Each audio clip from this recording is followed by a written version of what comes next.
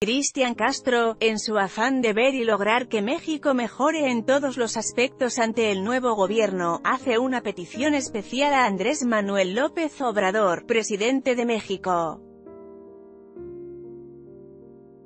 Desea que las clases de náhuatl sean obligatorias hasta la preparatoria.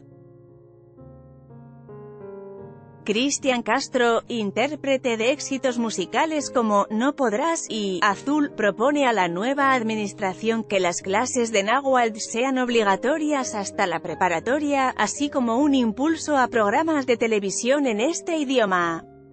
Según reporte en distintos portales de noticias, el hijo de Verónica Castro y Manuel, el loco, Valdés propuso al presidente Andrés Manuel López Obrador que sea obligatoria la enseñanza del náhuatl en las escuelas de México, así como fundar un museo de la música, al que llamaría Ciudad de la Música y no museo, porque luego la gente no va, asegura.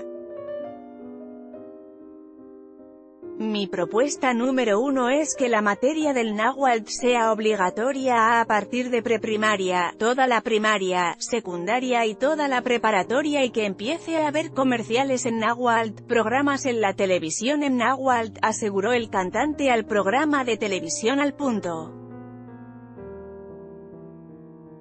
De acuerdo con datos del Instituto Nacional de Estadística y Geografía, hasta el año 2010 existen 1.544.968 personas mayores de 5 años que hablan náhuatl.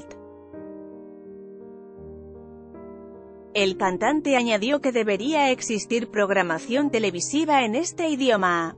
Castro le deseó suerte al mandatario López Obrador ya que, si le va bien a él, nos va a ir bien a nosotros. El cantante promociona actualmente su nuevo disco, tributo a Juan Gabriel. En esta nota.